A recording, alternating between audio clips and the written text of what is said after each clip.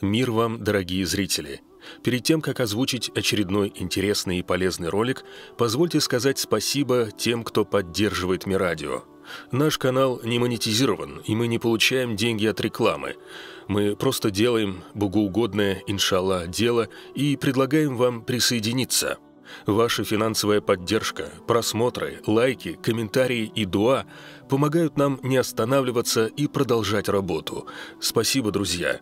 Ссылка на страницу «Поддержим Мирадио» в описании под видео. А сейчас новый ролик.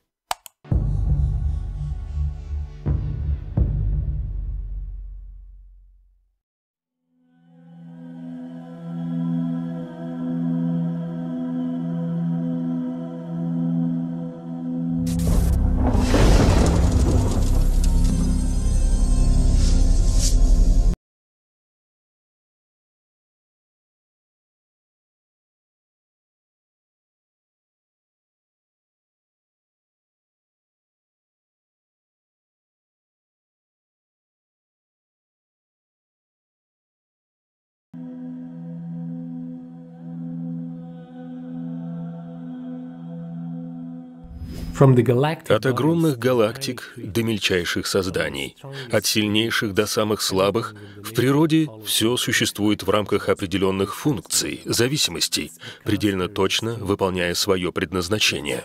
В качестве аналогии можно привести инженеров и архитекторов, использующих математические функции и точные измерения для разработки тех или иных механизмов, имеющих при этом эстетический вид. Первый пример. Возьмем простейшую функцию, чтобы нарисовать некий узор в круге. Наша формула y равно 2x. Начнем с 10 точек, равноудаленно расположив их на круге и отметив каждую из них цифрой. Затем соединяем их прямыми линиями в соответствии с функцией, подставляя вместо x эти цифры. Начинаем с нуля. Дважды ноль равно нулю. Линию не рисуем. Дважды один равняется двум. Соединяем единицу с двойкой. Дважды два равно четырем. Соединяем точку 2 с точкой 4. Продолжив, получим такой узор. Мы начали с 10 точек, а увеличение их количества дает все больше и больше линий, выстраивающихся в некую кардиоидную, напоминающую сердце, фигуру. Если изменить саму функцию, можно получить много разнообразных узоров. Но скажите, вы когда-нибудь видели в природе нечто, следующее функции 2х? Думаю, ответ большинства — да. Если посмотреть на отражение света в кругообразном объекте, например, в кофейной чашке, то можно увидеть тот самый узор. Это означает, что фотоны света следуют той же самой функции, столкнувшись с одним краем чашки, отражаются к другому краю под определенным углом. Но не только отражение света в кругообразной форме. Все в природе с необычайной точностью следует определенным правилам и функциям. В качестве следующего примера точности этих функций рассмотрим число π. Это иррациональное число, бесконечная непериодическая десятичная дробь. Это означает, что если у нас будет компьютер размером со Вселенную, то и его памяти не хватит, чтобы сохранить точное значение числа π, не округляя его. Откуда же взялось число π? Все просто. Это отношение длины любой окружности к ее диаметру. То есть с помощью числа π мы легко вычисляем длину окружности по ее диаметру и наоборот. Теперь представим вот что. Два скользящих блока и стена. Допустим, что нет ни потери энергии при их передвижении, ни поверхностного трения. Первый блок начинает свое движение с некоторой скоростью приближаясь справа, второй блок в этот момент неподвижен. Самый простой случай, когда оба блока имеют одинаковую массу. Первый блок ударяет второй, передавая тому весь свой импульс. Второй отскакивает, ударяется об стену, возвращается и отдает весь свой импульс первому, который затем скользит в бесконечность. Всего произошло три щелчка, то есть столкновения. А что, если бы первый блок имел массу, превосходящую массу второго, в сто раз? Прогноз развития событий в данном случае не так очевиден. Чтобы приблизиться к общему пониманию, давайте посмотрим, что произойдет. Второй блок будет продолжать отскоки между стеной и первым блоком, превосходящим его в массе в сто раз, постепенно, как бы частями перенаправляя импульс первого блока в обратном направлении. В итоге произойдет 31 столкновение, прежде чем оба блока поскользят в бесконечность, никогда более не соприкасаясь. А что произойдет, если первый блок будет тяжелее второго в 10 тысяч раз? Столкновений будет гораздо больше, и почти все они произойдут очень быстро и в одной точке. Их число достигнет 313, потом первый блок замедляется, ждем, ждем, Итого 314 щелчков. Если масса второго блока будет в миллион раз больше первого, и происходить все это в идеальных условиях, почти все щелчки прозвучат как один большой хлопок, и в этот раз будет 3141 столкновение. Возможно, вы уже видели раньше эту модель.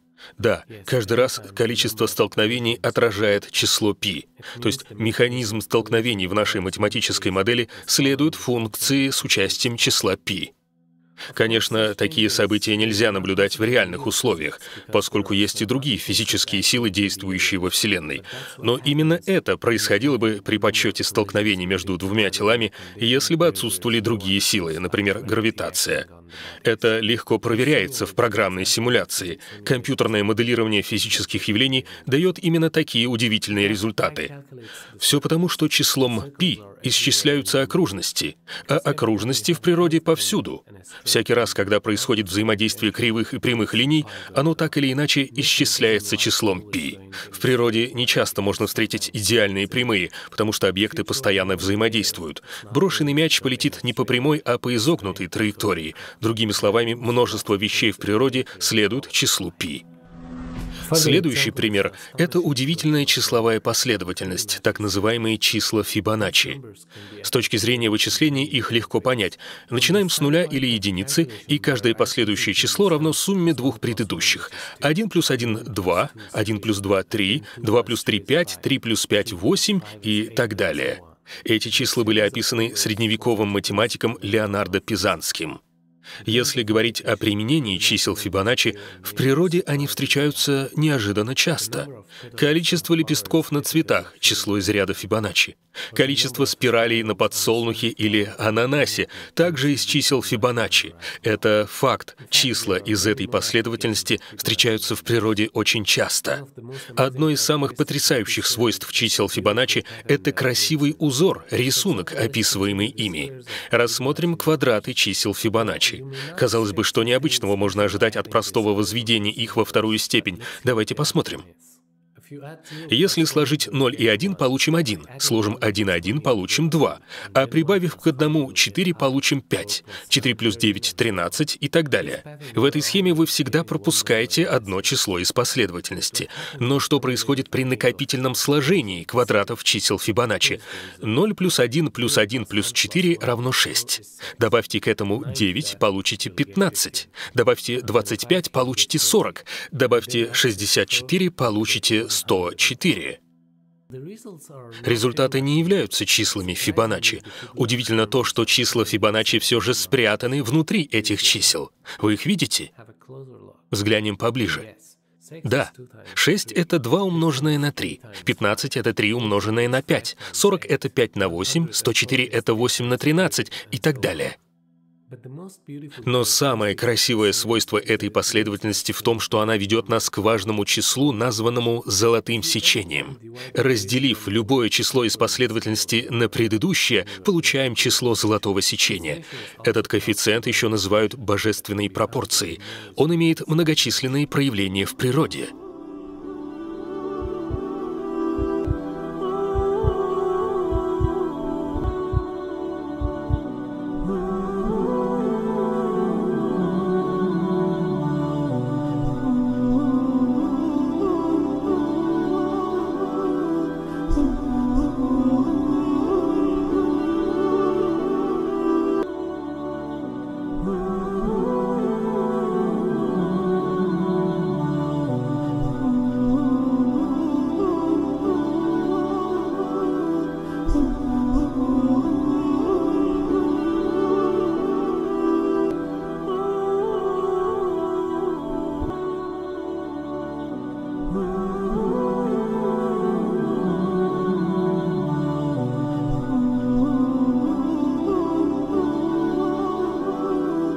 Почему же числа Фибоначчи и золотое сечение так важны для природы?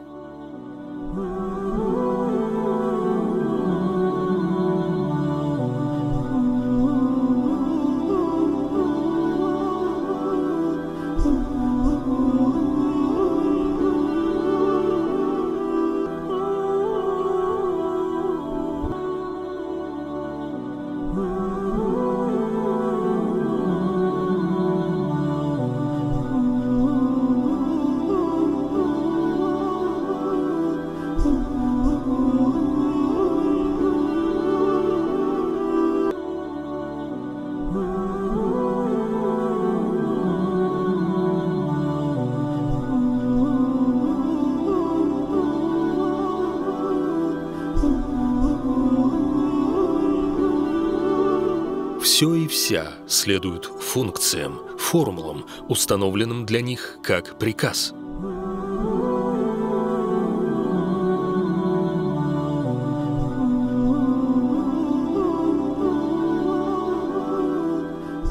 Все сотворенное, каждая мелочь с благодарностью возносит Господа, однако вы не понимаете их прославления. Священный Коран, 17 сура, 44 аят.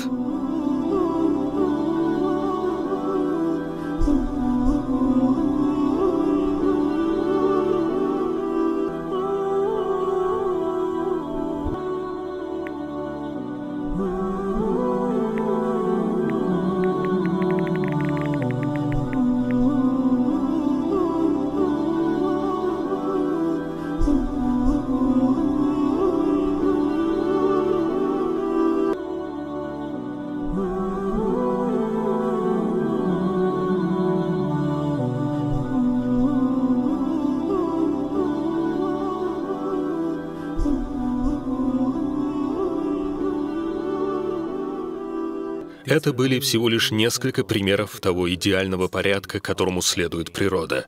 Причина, по которой мы показали вам все это, напомнить, что все в природе рассчитано очень и очень точно, что все сущее следует функциям, установленным для них. Любой рационально мыслящий человек может легко понять, что ни один из этих законов и порядков не является результатом случайного стечения обстоятельств, что сложная Вселенная со всеми этими законами и функциями просто невозможно без мудрого проектировщика, который сотворил все это с идеальной точностью и установил правила для управления всем сущим. الذي له ملك السماوات والأرض ولم يتخذ ولدا ولم يكن له شريك ولم يكن له شريك في الملك وخلق كل شيء فقدره تقديرا